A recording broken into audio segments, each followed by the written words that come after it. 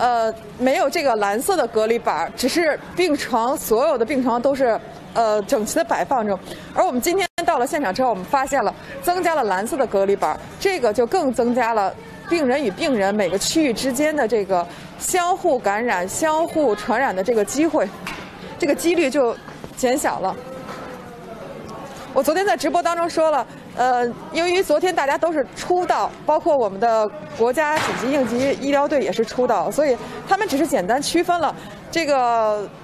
这个场地的男女区分的这个呃划分的区域。但是今天呢，他们经过一夜的研究，又把这儿分为了一等、二等、三等的这个按病情划分的区域。考虑到男女的这个病人，因为在医院住院的时候也有男女病房之分啊。但是他们还是进行了这样的，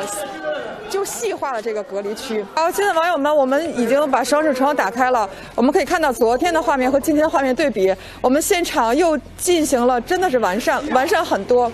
这个蓝色板子达到了真正的是隔离的效果，就是大家相互不打扰。然后刚才医务人员跟我介绍说，我们每一个区域之后还要进行以颜色区分。今天收治病人的这个病情病情的情况，虽然是疑似，虽然是已经确诊，但是每个人的情况不一样，我们会把它分纳归类分纳之后，把它安排安排在不同的区域内。这个检疫房是二次检查的这么一个临时搭建的这个房子，这个房子是一个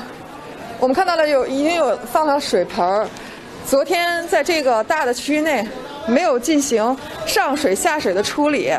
呃，包括污染处理，所以现在我们开始紧锣密鼓的进行这些上水下水，包括洗漱的处理。我们知道，在医院里，其实包括呃我们的，其实自己的住家也有这个水池上水下水，这是这是每个人必备的。那么经过一夜啊，我们又重新改装之后，就增加了这个这间房间。